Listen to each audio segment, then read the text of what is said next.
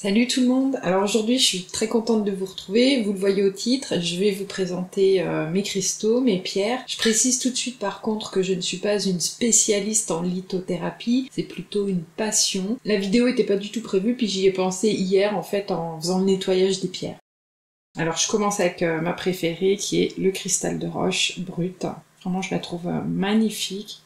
Alors c'est euh, un gros format. En fait, j'avais pas du tout prévu de l'acheter et euh, quand je suis allée au magasin, en fait, j'y allais pas du tout pour ça et euh, quand je l'ai vu, bah clairement j'ai craqué. Hein. j'ai été attirée tout de suite par elle. Il est connu pour amplifier l'énergie des autres pierres. Il est lié forcément à la lumière. Il met du coup en lumière tout ce qu'il rencontre, donc ça veut dire même nos zones d'ombre. Il favorise aussi l'acceptation, la bienveillance, la sérénité. Perso, je l'utilise en le tenant dans la main tout simplement. Je suis vraiment fascinée. Euh, je suis souvent en train de le toucher comme ça, de regarder tous ces petits détails. J'ai vraiment un lien avec lui euh, différent des autres. Je l'ai aussi euh, en petit format.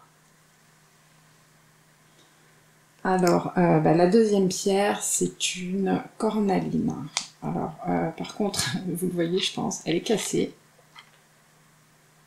Alors, je sais que pour beaucoup, on dit que si la pierre est cassée, euh, c'est qu'elle a fait son travail et qu'il faut s'en séparer. Euh, perso, bah, je vois pas du tout ça comme ça. Je me dis que elles sont prises de la terre, elles sont taillées, hein, c'est pas leur forme originale. Surtout qu'elles se cassent parce que je suis très maladroite et donc euh, je les fais tomber malheureusement régulièrement au sol et mon sol c'est du carrelage donc forcément ça pardonne pas. Donc je fonctionne à l'intuition et je les garde. Donc elle est plutôt grosse, hein, vous le voyez par rapport à la taille de ma main. C'est une pierre qui est reliée au chakra sacré du fait de sa couleur euh, dans les taux orangés, donc euh, au féminin sacré. C'est une pierre aussi qui favorise euh, l'ancrage, également la confiance en soi, l'acceptation.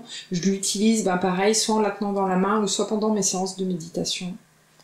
La prochaine pierre que je vais vous montrer, ben, c'est une pierre pareille qui est assez connue, c'est euh, la tourmaline noire. Pierre très connue comme euh, pierre de protection, notamment pour les personnes sensibles, si on veut pas trop finir en, éponge. Euh, c'est une petite pierre aussi qui aide à l'ancrage et au traitement de l'information. Alors c'est une pierre que j'utilise essentiellement la nuit, je la place sous mon oreiller et je dors avec, et c'est vrai que depuis que je fais ça, j'ai remarqué que bah, toutes mes prises de conscience se font le matin au réveil. Alors il n'y a pas que ça, puisque si vous regardez mes autres vidéos, vous savez que je fais euh, des séances de soins énergétiques, de l'hypnose, mais j'ai constaté une différence depuis qu'elle est placée sous mon oreiller, et euh, j'ai constaté aussi une différence avec une autre pierre que je vais vous montrer juste après. Enfin voilà, et celle-là aussi, je l'ai en petit modèle. Voilà. Donc tout kiki là. Ensuite, donc la pierre... Euh que j'ai utilisé la nuit aussi, c'est euh, la lapis lit. Alors celle-là aussi, hein, elle est cassée. En la faisant tomber par terre, euh, la pointe s'est cassée et je la garde. La pointe, euh, en fait, je la pose pendant mes séances de méditation au niveau du troisième œil, puisque c'est une pierre qui favorise l'ouverture du troisième œil. D'ailleurs, c'est pour ça que je l'ai acheté. Par contre, ça s'est pas passé comme prévu. Alors, j'espère pareil que la caméra va bien faire le focus. voilà, c'est vraiment une très belle pierre aussi.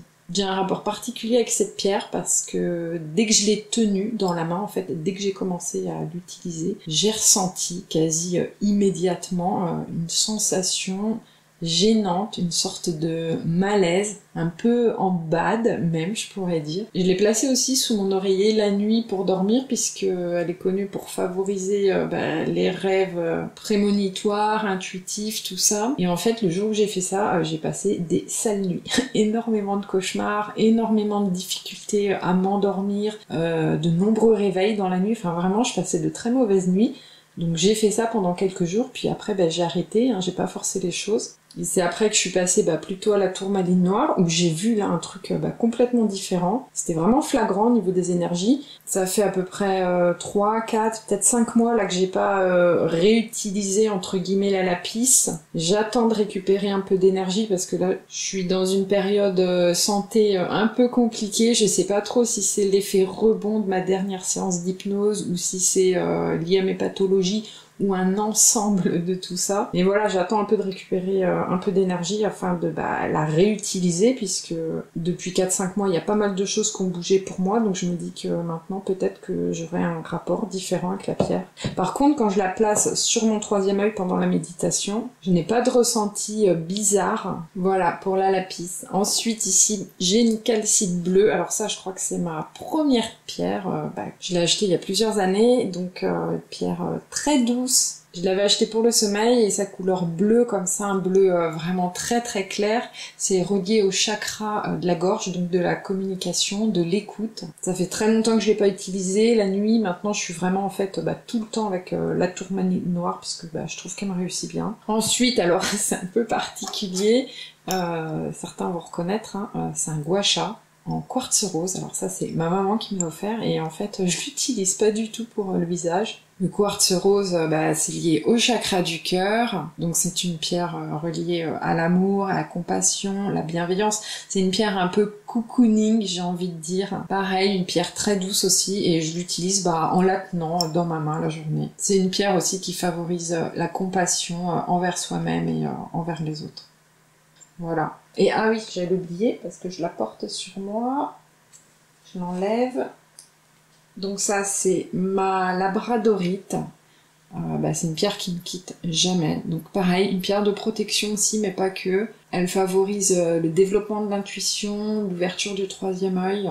Je la porte toujours pareil, hein, elle a du vécu, elle est pas mal abîmée, elle a reçu plusieurs chocs en tombant par terre aussi, mais je la garde, hein, je peux pas m'en séparer. Il y a un lien aussi avec elle plutôt particulier, je me sens vraiment reliée à elle. J'avais regardé pour pouvoir euh, la transformer en bijou, et puis finalement on m'a dit que c'était pas possible à cause de sa forme, donc euh, bah, je la garde. Voilà, elle me quitte vraiment jamais, sauf quand je dois bah, la nettoyer, la Euh, après, bah, dans les petits formats, j'ai euh, bah, pareil, hein, le très connu œil du tigre. Voilà. J'ai aussi euh, une chiroprase, si je me trompe pas. Et celle-là, alors, une couleur magnifique aussi, c'est une malachite je l'adore, je la trouve magnifique et pareil, bah, je pense que celle-là je l'achèterai en gros format. Alors j'utilise plus euh, les petites, maintenant j'achète essentiellement des, des gros modèles parce que de ce que j'ai lu, je sais que là aussi il y a des avis différents, mais je trouve plutôt ça logique finalement, euh, bah, la charge énergétique forcément est différente euh, d'une grosse pierre à voilà un petit format comme ça. Je pense que c'est plutôt logique, en tout cas c'est mon avis perso. J'ai aussi eu d'autres pierres, mais que j'ai perdues euh, en petit format comme ça. J'avais une sodalite. Euh, j'avais également aussi un bracelet en aventurine, un bracelet d'olite, pareil, qui sont euh, bah, quelque part dans mon appart. Ça, j'en suis certaine à 100%, mais où? Et puis c'est tellement petit, donc à retrouver, bah, c'est pas évident. Je me dis qu'un jour, je vais retomber dessus par hasard. Enfin voilà, j'espère que ça vous aura plu. N'hésitez pas à me dire si vous aussi vous avez des pierres fétiches, des pierres préférées chez vous. Je vous laisse ici. Prenez soin de vous surtout. Ciao